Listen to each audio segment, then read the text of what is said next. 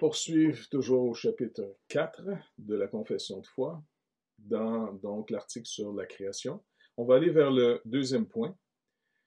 Mais juste pour faire un petit retour très rapide, on se rappelle finalement que la parole de Dieu est quand même assez fascinante.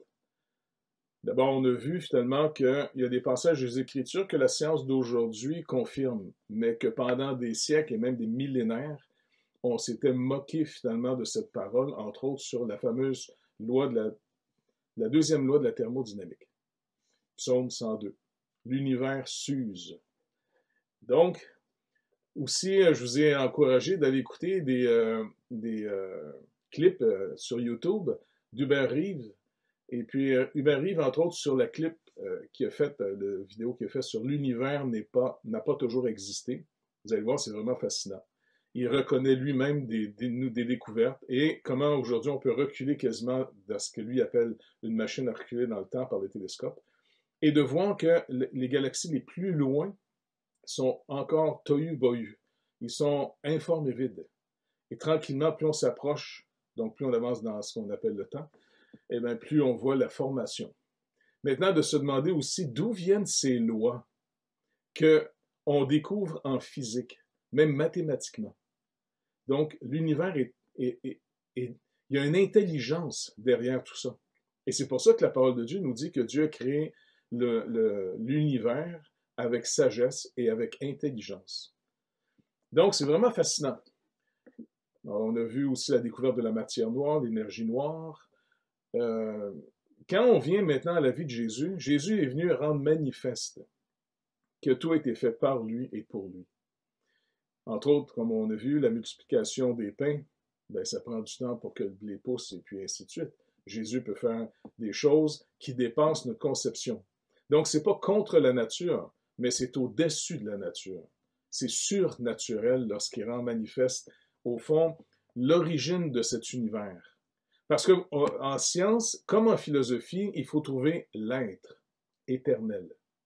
Et la parole de Dieu nous dit que l'être éternel, ben, c'est le Seigneur, le Créateur, Dieu, Père, Fils et Saint-Esprit. C'est pas la matière. Jésus nous a rendu manifeste aussi qu'il est l'auteur de la vie, il est créateur de la vie. Juste en la résurrection de Lazare, entre autres, il a attendu quatre jours. Même les sœurs de Lazare, dont Marthe, avaient averti Jésus, non, non, il, est en décomposition, il sent mauvais, il pue. Et pourtant, Jésus a ressuscité Lazare. Un autre phénomène qui nous montre que la parole de Dieu est vraiment quelque chose de fascinant, c'est les prophéties qui annoncent le juste. Donc, même Blaise Pascal, qui est un mathématicien, lui était fasciné, la journée que vraiment Dieu a touché son cœur, s'est tourné vers Christ, il est devenu vraiment un croyant. Bref, il était fasciné, entre autres, de voir toute la parole de Dieu au niveau des prophéties qui annonçaient le juste. Pour lui, il avait décrit ça dans, ses pensées. Il dit, c'est un peu comme si on était dans une, dans sur une île déserte, en pleine nuit dans les ténèbres, et les prophéties sont un peu comme lorsqu'il y a un orage, il y a des éclairs qui éclairent soudainement un petit peu. Donc, les éclairs prophétiques nous annoncent et nous donnent le, portrait, un, le portrait de notre condition perdue et celui qui doit venir nous sauver. Et sa fidélité est notre assurance. Donc, encore une fois, c'est l'aspect qu'on vit dans une création. Et en plus, on a été racheté par le Rédempteur qui est le Créateur. Ça, c'est fascinant on, est en relation par Jésus-Christ avec Dieu, le Créateur. Et en plus, le Seigneur nous a adoptés pour faire de nous ses enfants, co-héritiers avec celui pour qui toute chose a été faite et par qui toute chose a été faite. Maintenant, nous, nous avons été adoptés par Dieu pour devenir des enfants de Dieu par Jésus-Christ. Il faut naître de nouveau. Ce pas tous les êtres humains qui sont enfants de Dieu c'est ceux qui ont été rachetés par Jésus-Christ, ceux qui ont mis leur confiance dans l'œuvre de Jésus-Christ, spécialement l'œuvre à la croix. Oui, c'était ma condamnation qui a porté. Mais c'est ma justification qui a manifesté à sa résurrection trois jours plus tard. Donc, maintenant, pourquoi Dieu a créé? Pourquoi il y a, il y a un deuxième point ici, il dit, après avoir tout fait dans toutes les créatures, il créa l'être humain on dit ici l'homme, mais c'est l'être humain, il les créa mâles et femelles. avec des âmes raisonnables et immortelles, qui les rendaient propres à cette vie avec Dieu pour laquelle ils avaient été créés. Et ils ont été faits à l'image de Dieu en connaissance, justice, vraie sainteté, ayant la loi de Dieu inscrite dans leur cœur et pour, pour l'accomplir. Ils ont le pouvoir de l'accomplir. Ils avaient cependant la possibilité de la transgresser, puisqu'ils étaient laissés à la liberté de leur propre volonté, qui était capable de changement. Et donc, on voit finalement dans les trois premiers chapitres pardon, de la Genèse comment finalement on a mal utilisé cette liberté.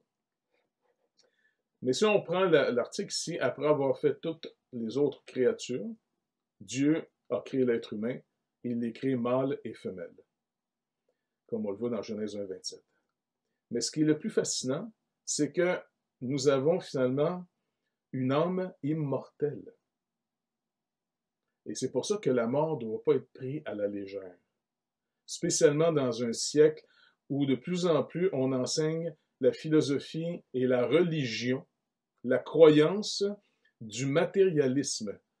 Parce que rejetant Dieu, il faut retrouver encore une fois, comme on l'a vu, philosophiquement, il faut retrouver pour interpréter dans quoi on vit, qu'est-ce qui est éternel. Et si ce n'est pas Dieu qui est éternel, et on va faire donc de la matière quelque chose d'éternel.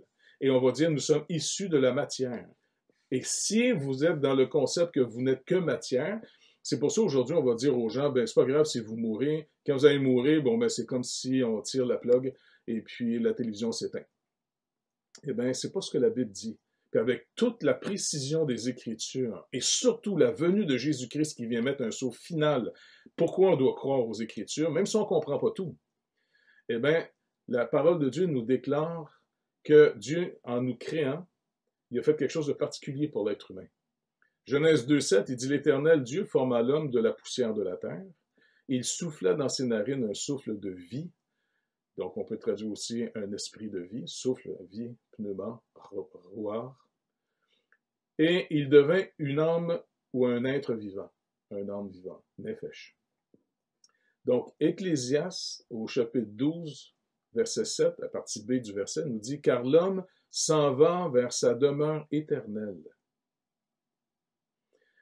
Après ça, au verset 9, toujours du même chapitre 12 d'Ecclésias, avant que la poussière retourne à la terre comme elle y était, et que l'esprit retourne à Dieu qui l'a donné. Cette forme de vie qu'on a, elle est donnée par Dieu et elle retourne à Dieu.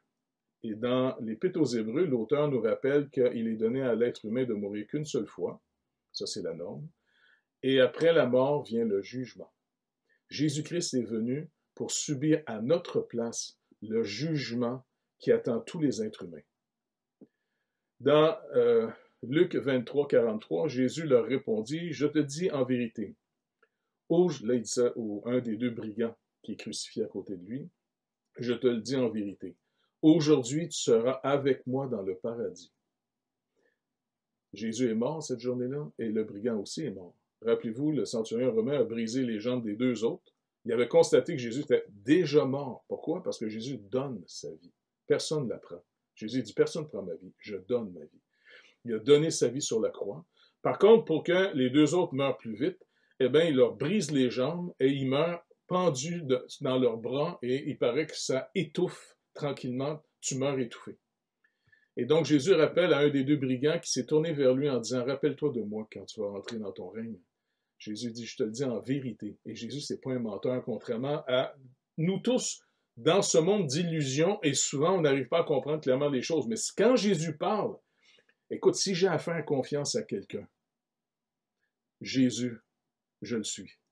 Je le suis et surtout, j'y fais encore plus confiance quand je ne comprends pas. Parce que déjà quand j'étais petit, je faisais confiance à mes parents quand ils me disaient quelque chose. Je n'avais pas besoin de tout comprendre. Si mon père me disait quelque chose, si ma mère me disait quelque chose, ben, pour moi, là, ben, écoute, ça règle le problème tant que je ne serai pas assez grand, tant que je ne serai pas assez intelligent, tant que je ne serai pas assez instruit pour comprendre, j'ai fait confiance à des gens. Et aujourd'hui, dans cette vie qui a plein de mystères encore, ben, j'aime mieux faire confiance à Jésus que de faire confiance à toutes sortes de petits clins boulamites qui arrivent en chemin et que le prochain qui va arriver, il va défaire sa théorie puis il va en mettre une nouvelle. Moi, je m'attache au Seigneur Jésus. Bientôt, notre vie est finie. On a quatre de nos amis qui sont partis dans l'éternité juste au mois de mars. Quatre personnes. Ils sont dans l'éternité. Ils ont été rejoindre les autres de nos amis. Gaétan Dieu qui ont été rejoints finalement. Mon père, euh, je ne sais pas moi, Gaétan euh, Bouchard. Plein de nos amis sont partis là-bas. Micheline. Moi, je veux faire confiance au Seigneur Jésus. Lui, il ne nous a pas trompés. Lui, il n'est pas venu même nous fasciner. Il a toujours dit la vérité. Il a dit la vérité au point a même dit à ses propres disciples, maintenant vous allez être mes témoins et vous allez être des témoins. Ça va ruiner vos vies sur terre, mais c'est pas grave, n'oubliez pas. Tout sur terre pense, mais ceux qui auront fait ma volonté demeurent à toujours.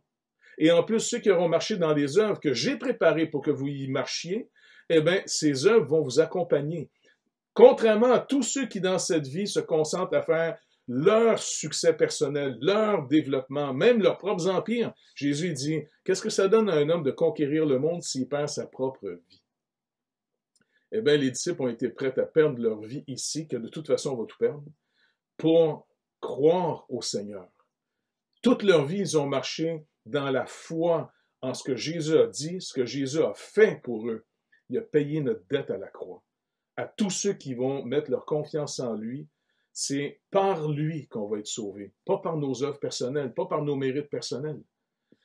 Donc, il nous montre ici, le Seigneur Jésus, qu'à ce brigand qui s'est tourné vers lui et qui donc va être l'objet d'une rédemption, Jésus paye pour le monsieur.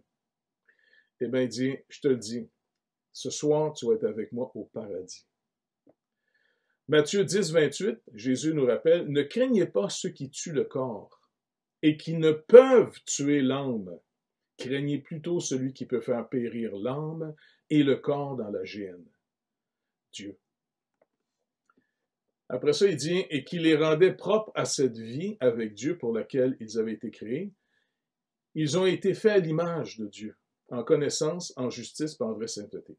Si on revient encore dans l'Ecclésiaste au chapitre 7, verset 29, il dit seulement Voici ce que j'ai trouvé. C'est que Dieu a fait les, hommes droits, mais ils ont cherché beaucoup de détours. Genèse 1, 26, et puis dit Dieu dit Faisons l'homme à notre image, selon notre ressemblance, qu'il domine sur les poissons de la mer, sur les oiseaux du ciel, sur le bétail, sur toute la terre et sur tous les reptiles qui rampent sur la terre. Donc Dieu nous avait créés pour qu'on puisse être ses représentants. Par cette communion unique que l'être humain a, devait avoir et qui est rétablie en Jésus-Christ seul maintenant, eh bien finalement, on avait finalement normalement la lumière, l'instruction nécessaire pour prendre soin de la création du Créateur et d'avoir ce règne pour manifester en passant la bonté de Dieu à la création. Mais malheureusement, aujourd'hui, l'être humain, motivé par une cupidité absolument démence, on est en train de ruiner la planète au complet. Et c'est pour ça que même Dieu a dû mettre finalement la crainte dans, l'esprit des animaux, dans le cœur des animaux, pour qu'ils puissent avoir peur de l'être humain, car on est devenu, après le déluge, même des carnivores. Ça fait partie de notre alimentation. Colossiens 3.10 nous dit, Et ayant revêtu l'homme nouveau, qui se renouvelle dans la connaissance selon l'image de celui qui l'a créé. Donc, on voit ici que notre sanctification se, se développe de plus en plus. Il y a un processus. Dès qu'on a été mis à part par le Saint-Esprit, qu'on a finalement obéi au message de l'Évangile, qu'on a cru en lui, on est né de nouveau, on peut maintenant développer. Il y a un développement de la sanctification. Comment? Dans la connaissance. Et puis selon l'image, donc la connaissance de Dieu. Pierre en parle, il dit que la grâce et la paix vous soient multipliées par la connaissance de Dieu et de notre Seigneur Jésus-Christ. Donc, c'est important pour nous d'avoir non seulement juste de l'information sur Dieu, mais quand on lit la parole et on devrait prier toujours pour demander au Seigneur, enseigne-nous, enseigne-nous ta volonté, fais-nous discerner où tu nous attends, et quand l'épreuve arrive, s'il vous plaît, Seigneur Dieu, apprends-nous à s'attendre à toi. Comment on mêle la foi à ce qu'on a entendu d'épreuve en épreuve? Non pas que c'est magique face à l'épreuve, mais c'est là qu'on attend le Seigneur et qui se révèle être fidèle à sa parole. Et c'est comme ça qu'on devient des témoins. Éphésiens 4, 24 nous dit, ayant revêtu l'homme nouveau, créé selon Dieu dans une justice et une sainteté que produit la vérité. On retrouve de plus en plus l'image initiale de l'être humain à l'image de Dieu. Et c'est comme ça, finalement, que Jésus dit, euh, si vous m'avez vu, vous avez vu le Père. Il s'est incarné et il est redevenu la véritable image de Dieu en être humain. Le Dieu qu'on ne peut pas voir, Jésus l'a rendu manifeste en humain. Et notre sanctification en nous aujourd'hui va dans la même direction. Ça ne sera jamais aussi parfait que, que celle du Seigneur Jésus, c'est sûr. Mais quand même, qu'on puisse devenir de plus en plus crédible. Que les gens puissent voir qu'on est des gens qui s'attendent au Seigneur. On est des témoins que Dieu est vrai et vivant. Donc, ayant la loi de Dieu inscrite dans leur cœur. Romains 2, versets 14 et 15, Paul rappelle ici aux Romains qu'il dit Quand les païens ou les, non-juifs, qui n'ont point la loi, la fameuse loi de Moïse, font naturellement ce que prescrit la loi, eux qui n'ont point la loi ont une loi pour eux-mêmes. En d'autres mots, il est en train de montrer, c'est pas parce que vous avez la loi de Moïse que euh, à partir de là, on a compris. Non, il dit, c'était quelque chose qui n'a juste confirmé ce que Dieu avait déjà inscrit dans le cœur de l'être humain. Ne pas voler, ne pas tuer, ne pas être infidèle, ainsi de suite. Et le pouvoir de l'accomplir. Dieu nous avait rendu aussi capables d'obéir.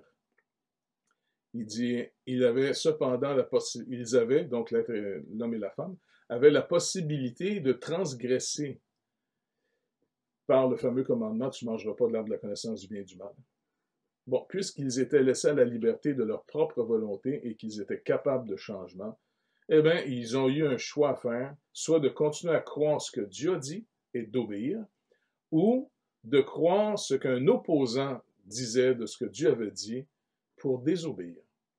Et dans Genèse 3.6, on voit ici que la femme vit que l'arbre était bon à manger et agréable à la vue et qu'il était précieux pour ouvrir l'intelligence. Elle prit de son fruit, en donna à manger. En mangeant, elle en donna aussi à son mari qui est auprès d'elle, et il en mangea. Ecclésias 7, 29. Seulement, voici ce que j'ai trouvé, c'est ce que Dieu, encore comme il disait, Dieu a fait les hommes droits. Mais ils ont cherché beaucoup de détours. On a voulu se détourner du commandement qu'il nous avait donné, qui nous faisait au fond vivre une vie de dépendance envers le Seigneur, de confiance envers le Seigneur. On a décidé d'abandonner ce chemin parce que quelqu'un nous avait proposé en disant non, non, si vous mangez de cet arbre, vous allez devenir libre de lui et comme lui, vous allez être capable de savoir par vous-même. Et c'est encore l'illusion qui bouille dans notre chair.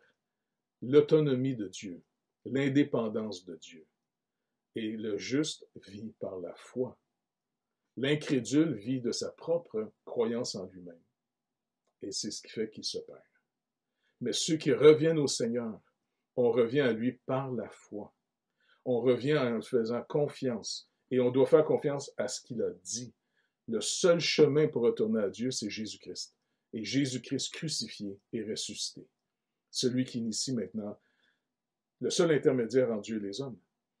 Jésus-Christ nous ouvre le chemin dans sa propre chair qui a été rompue, déchirée, un peu comme le voile du temple. Lorsqu'il est mort, Jésus, le voile dans le temple a été déchiré, de haut en bas. Donc, il y a vraiment des illustrations fantastiques. Dieu ne nous a jamais laissé dans, dans, je sais pas moi, dans une forme de mythologie. Il est venu lui-même.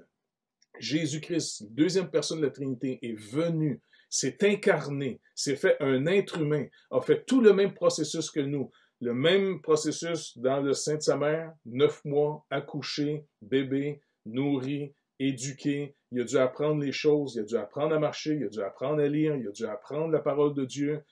la seule différence entre nous et lui, c'est qu'il n'était pas séparé de Dieu en tant qu'être humain. Il n'y avait pas le péché en lui, ce que nous on a. Et c'est pour ça qu'il a triomphé beaucoup plus intensivement que nous dans le jardin par nos premiers parents, que la Bible dit, au milieu d'un jardin fantastique, où est-ce qu'il y avait plein d'arbres, où est-ce que les fruits, il y en avait des millions, peut-être des milliards.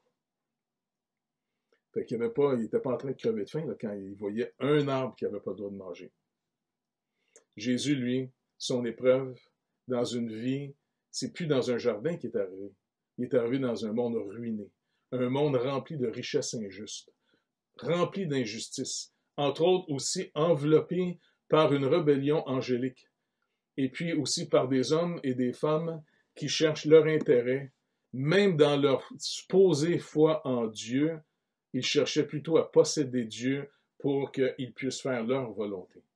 Jésus-Christ est venu montrer complètement autre chose. On a besoin de lui. On a besoin de son Esprit Saint. Voilà.